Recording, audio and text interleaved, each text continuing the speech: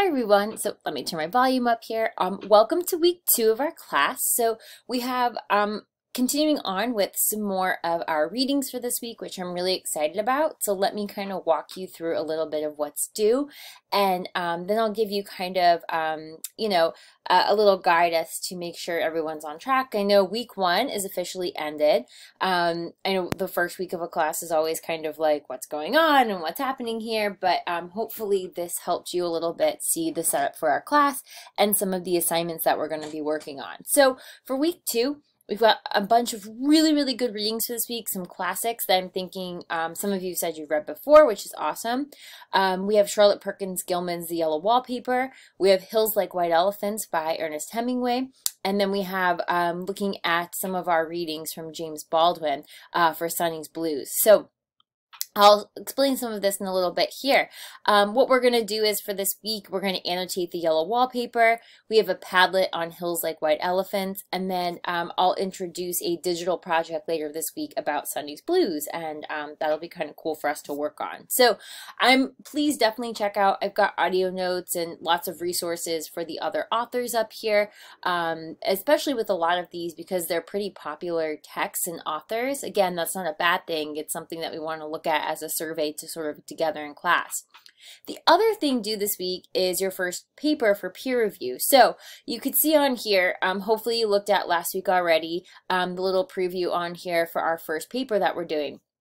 And, you know, it's a literature class, so we're definitely going to have, obviously, a lot of, um, you know, reading and critical analysis. So what we're going to do is it's a four-page paper, double-spaced. Um, you want to answer questions you know you want to look for a significant theme you want to look for something that you want to investigate in one of the readings so far. You can totally do this based off of um, a prompt that we've done, or you can do this based off of looking at one of our kind of, um, you know, questions that we've had in some of our discussions. But um, what you really want to aim to do for this is seek to investigate something from one of the texts that we've looked at so far. And yes, believe it or not, you've already got like six stories, six different authors that we've read.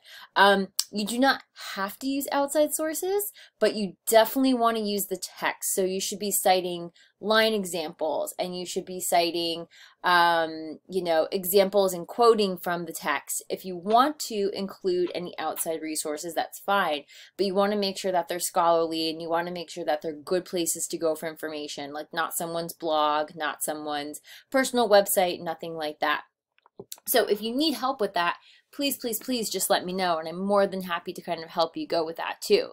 Um, I want you to pick and and look at those questions and look at what's interesting to you. You don't you don't have to take them word for word. Um, you can completely make them your own, but I know sometimes it's good to have a starting place. I will check in with everyone so you can let me know what you're thinking about working on here too. Um, I also put in here some notes about like what exactly is a literary analysis paper, especially if you're not used to writing kind of this, um, or if you're like coming back to it after a while away.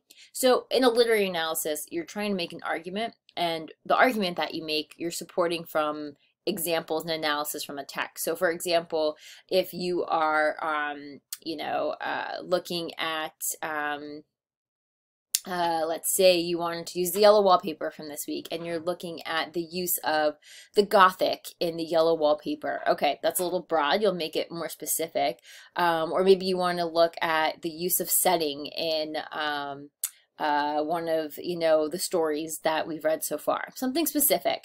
You want to make an argument about it. So what is it about the setting that enhances or says something or makes a point about the text. So a literary analysis is like I'm posing this question or this idea and I'm going to investigate a little bit more.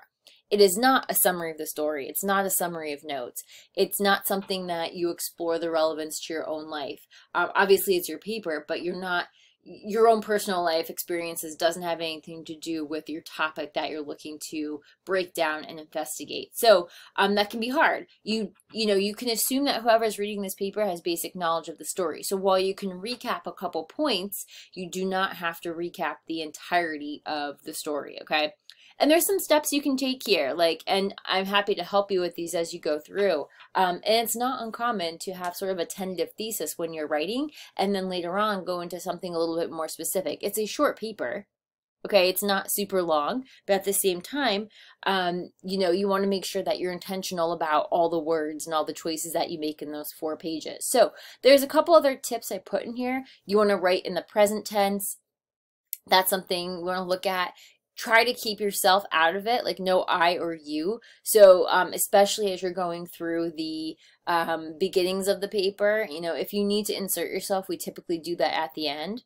Like I said, avoid summarizing the plot. You don't want to literally retell everything that happened. Um, points here about, you know, making a clear thesis. Um, use your literary terms. So like talk about characters and themes and setting point of view, symbols. Um, the stories are filled with a lot of these things up here, and we want to make sure we're intentional about using the right language. Um, okay, so that's another thing too. You don't want to confuse characters. Luckily, what we're reading doesn't have tons of characters, and we typically only have one author of each text with that too.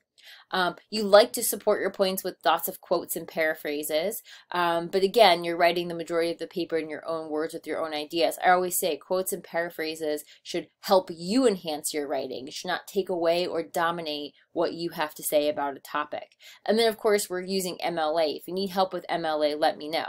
And this is just a rubric that I use to kind of, I, honestly use these for myself to sort of help me kind of go through all of this um, when I'm doing my own writing because you know, I write tons of these different types of papers and have for a long time, and I found it really, really helpful. So I'll check in with everyone about that. And then our first thing we'll do is have a little peer review where we'll be able to read each other's drafts and give each other some comments and feedback on that. So that's due by the 15th, and you want to make sure between the 15th and 16th, um, we're a small group, so you'll be giving some feedback to each other on your papers. Um, and this can really help you just have an outside perspective, which is so, so much, you know, I can't explain how valuable that is, especially when we sometimes only see our writing and reading one way, and then someone else can kind of give us some more feedback on that too.